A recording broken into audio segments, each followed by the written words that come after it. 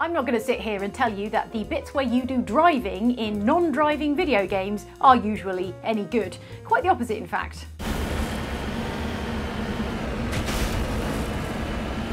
You went right off the scanners, Commander.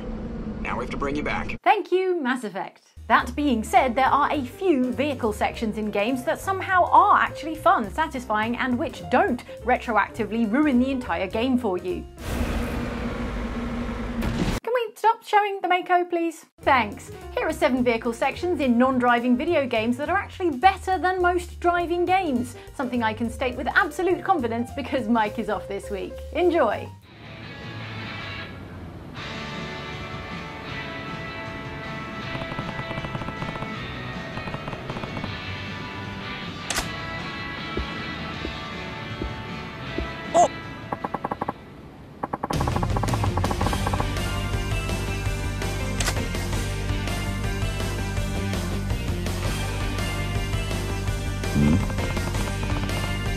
Vehicle section in Yakuza 0, you might be thinking. Oh, and you must be talking about the bit where you're driving down the freeway shooting a gun out of the window at cars. To which I reply, Are you high? That's clearly the worst bit of the entire game.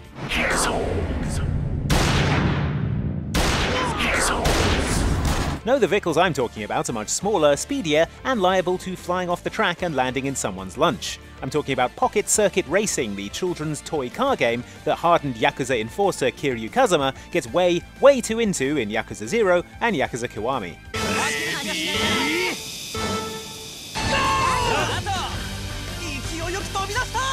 Despite the fact that the Pocket Circuit Center is run by a man in a bright tracksuit who calls himself the Pocket Circuit Fighter, and that all his opponents are children, Kiryu dedicates himself to the sport of slot car racing with the single minded focus that he devotes to, well, everything. And if you go along with this, you can follow the questline all the way from being a rookie racer to the champion of Kamurocho. The key to Pocket Circuit is balancing your speed with your grip. The faster you go, the better, and you can boost to go all out. But go too fast, and you'll send your car flying clear off the track. The tracks are also dotted with little ramps that make rapid, unscheduled car takeoff much more likely, so you'll need to learn where the best spots are for slowing down, as well as when to gun it, for example when you need enough speed to make it round a loop-de-loop. As a result, Pocket Circuit races are blisteringly fast, tense affairs, and nothing in the game beats the sense of achievement you get when you crush your opponents, even if they are grade school children. The real appeal of Pocket Circuit lies in the customization though. There really is a breathtaking array of options for you to swap out and fiddle with, from the tyres and the frame to the motor, battery and suspension, and each component will affect things such as the car's speed, balance, acceleration and grip, important if you're trying to stay on the track.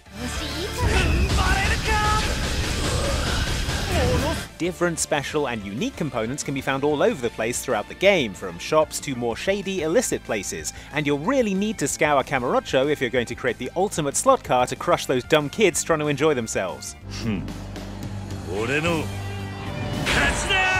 yeah, in your face, kids! Alright, back to the drudgery of my day job fighting my way to the top of Tokyo's organised crime syndicates, I guess.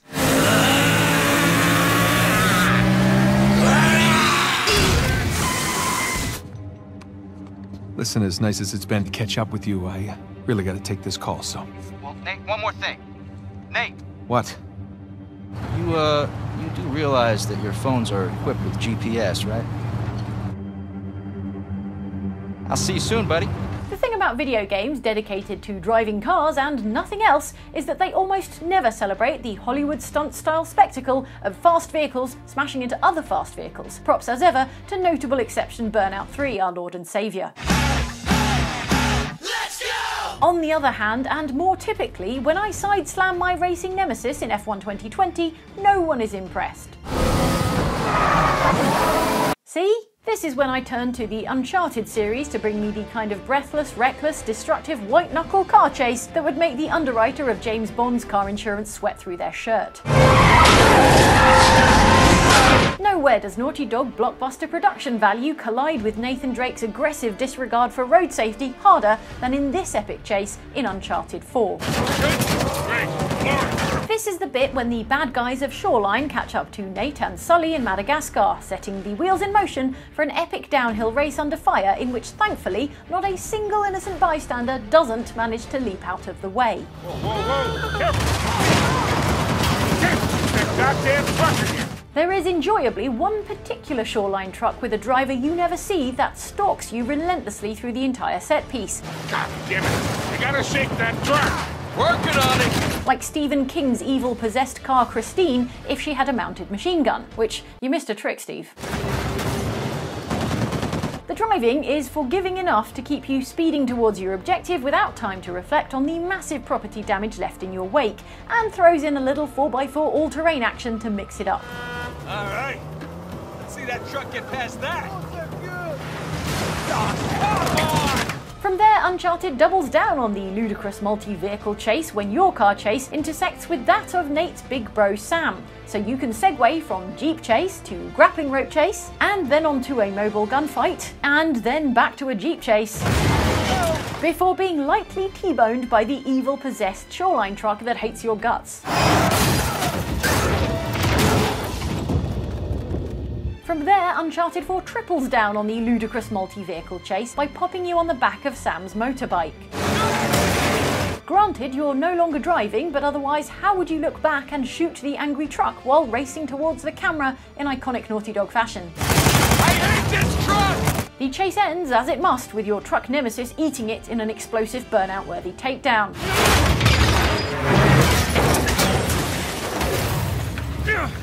Oh, I'm gonna need to lie down.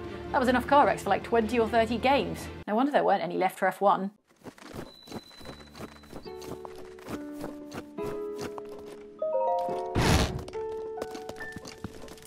Yeah!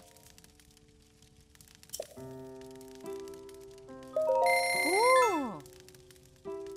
It's a wonder Hyrule ever gets saved with the amount of dicking around that the various links do instead of actually focusing on the task at hand.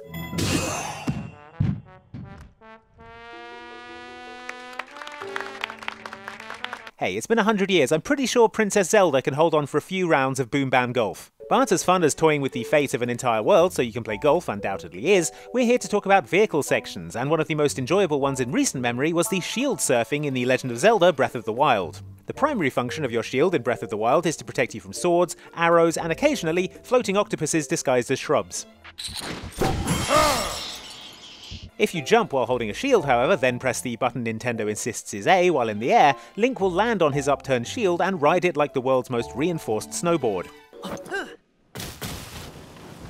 You can do this anywhere you like, but for the best routes and the most competitive setup, you're going to want to head to Selmie's Spot, a purpose-built shield surfing track run by a former pro who can show you the ropes and savagely deride your worth as a shield surfer and by extension human being. Despite the roasting, you'll want to stick around because it turns out shield surfing is brilliant fun. Combining the speedy downhill racing of a snowboarding game with Breath of the Wild's excellent paraglider makes for a great combination as you ramp off things and then sail effortlessly over obstacles, occasionally busting out tricks, because we're the hero of time, damn it, who's going to stop us? You can also win shields by setting good times on the advanced course, and there are all kinds of tricks and shortcuts for shaving seconds off your time, which you're going to want to do obsessively over and over again unless that's just me. Anyway, it's great, and the only way it could be better is if you were being towed by some kind of large, humorous animal. Wait, hang on, I'm hearing that Breath of the Wild has that as well. Hey. Alright, pack it up, driving games, you're done. It's Zelda now. Zelda is driving games from now on. Yo, Mark. I need you to come tomorrow at 9 a.m., okay? Yeah, sure. There's something we gotta do before work. Before work, really? Yeah, man. You'll see when you get here. Oh, and don't be late. Although Shenmue in theory is a thrilling martial arts story about a young man's quest for revenge, much of the actual gameplay involves you having to get various part-time jobs because you spent all your money on capsule toys. Hey, what's this? One such job that you, as Ryo Hazuki, can get is as a forklift operator, in which you have to use a forklift to move crates from one part of the harbour to another, and it is exactly as exciting as it sounds. The The good news for you, though, is that your new colleagues have a somewhat lax approach to forklift safety, in that they start every day on the job by warming up with a full on race of these small cars with giant pointy knives sticking out of the front. Time for a daily warm up race. You all do your best now. Yeah! It's worth pointing out here that the forklift job in Shenmue isn't optional. It's part of the main story, and you need to work there for five full days to advance the plot, getting up early, travelling to work, putting in a day moving crates, and then heading home to sleep. The forklift races serve as both a fun diversion to start your day off during this routine, and also as a way of making you feel closer to your colleagues as you talk about the races and make predictions for tomorrow. Mark. Hey, Dio, Yeah. how you liking work? It's okay, I suppose. And when the rest of your day is spent moving boxes around a warehouse, it's almost supernaturally thrilling to be doing anything that isn't that.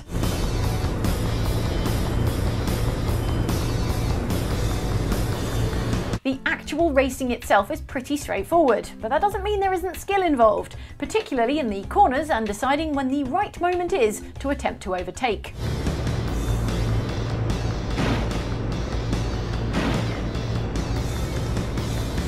It's extremely challenging, and guaranteed, nothing in Shenmue will give you a greater sense of triumph than placing first in a forklift race. Not even revenge on your father's killer. Finish! Forklift racing is still fondly remembered by fans, and it's not for nothing that the forklift has become a symbol of the Shenmue series. Ryo and his forklift even proved so popular that they were actually released as DLC for Sonic and Sega All Stars Racing, events which I think we have to assume canonically are happening on Ryo's lunch break.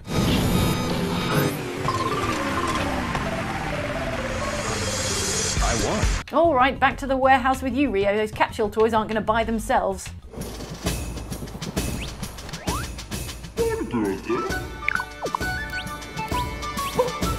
Super Mario Odyssey, in which Mario hijacks people's brains with a magic hat, don't think too hard about it, is full of fun minigames, and also that one where you have to walk in a line.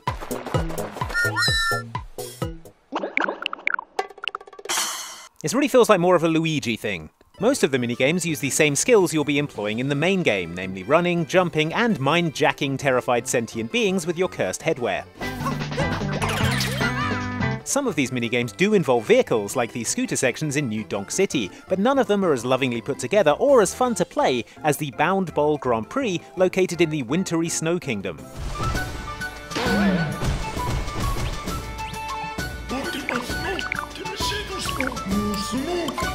Bound Bowl racing is a custom of the local Shiverian people, a rotund walrus like folk who race by curling into a ball and bouncing their way down a banked, snowy racetrack. Of course, Mario can't enter the race in his useless human form. Luckily, he has a nightmare hat that lets him mindjack one of the Shiverians, whose possessed body will be the vehicle of this vehicle section.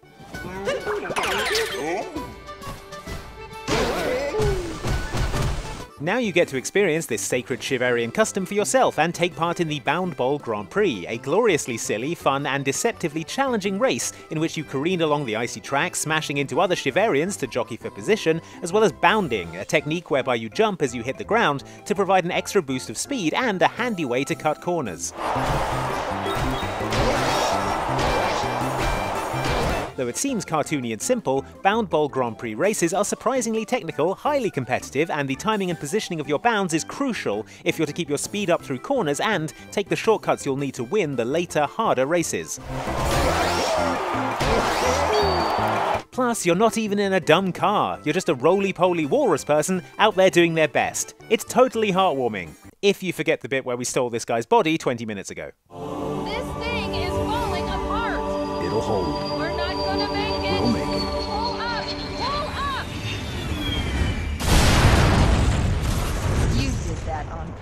Didn't you? Depending on who you ask, the Warthog vehicle from the original Halo Combat Evolved is either a franchise defining pillar of the Halo experience or a crime against driving controls. I say, why not both?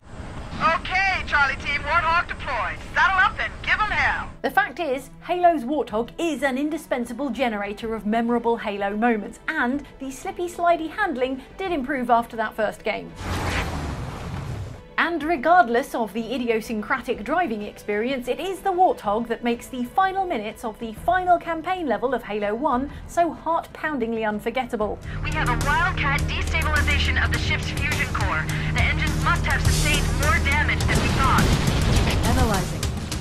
We've had six minutes before the fusion drives detonate. This is the bit when Master Chief must race against the clock to escape the wrecked UNSC Pillar of Autumn before the ship blows up and destroys the Halo, the Covenant fleet, and the entire Flood Menace along with it. It's a cinematic seat of your armoured pants experience in which Master Chief mows down enemies and ramps off the scenery like a boss although the frantic time pressure would occasionally make the faithful Warthog vehicle less your ride or die favourite and more your ride and die favourite. In any case, Halo fans will fondly recall fishtailing the Warthog through explosions while the classic Halo theme rises in the background.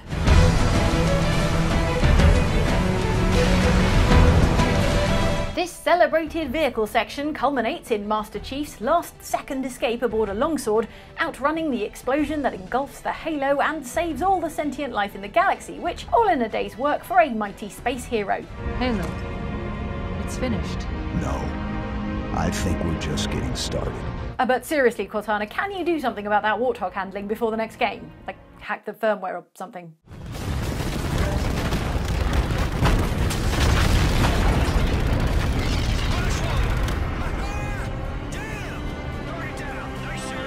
Say what you like about the Call of Duty series, there's no denying they do big budget spectacle incredibly well, which is good news if you like explosions, and bad news if you're the Eiffel Tower.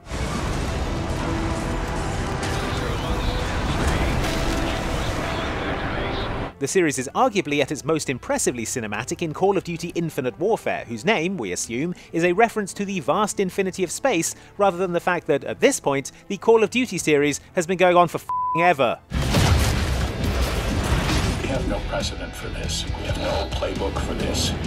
And apparently, we have little time. Infinite Warfare catapults the series' eternal conflicts into the farthest future yet, which means A. Robots, B. Jon Snow in space, and C. You getting the keys to your very own spaceship.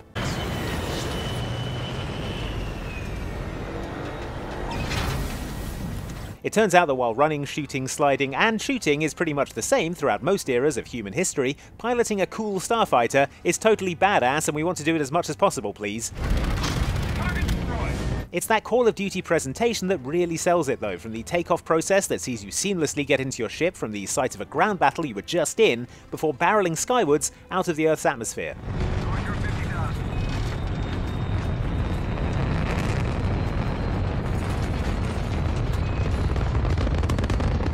Into the eerie silence of space, where the only sound you can hear is the ominous creaking of your ship that we're suddenly aware is the only thing standing between us and the infinite uncaring vacuum of space.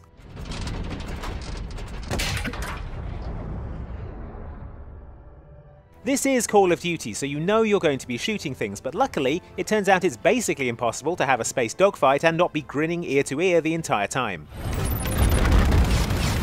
Yes, you're basically locking onto baddies and holding shoot until they explode, but damn it if this isn't the most fun I've had in a Call of Duty game for years. Could have done with some of this in Call of Duty Modern Warfare. I don't know, a Captain Price dream sequence or something. Alien invasion subplot? Look, I'm just an ideas man, Infinity Ward. I will need producer credit though. There you go, friends. Those were seven vehicle sections in non-driving games that were better than, frankly, they had any right to be. If you're looking for another video in a similar vein, can I recommend you this one? From Outside Xbox should be on screen right now. And for something completely different, why not check out this video from Luke and Ellen over on Outside Xtra? It should also be on screen somewhere right now. Enjoy!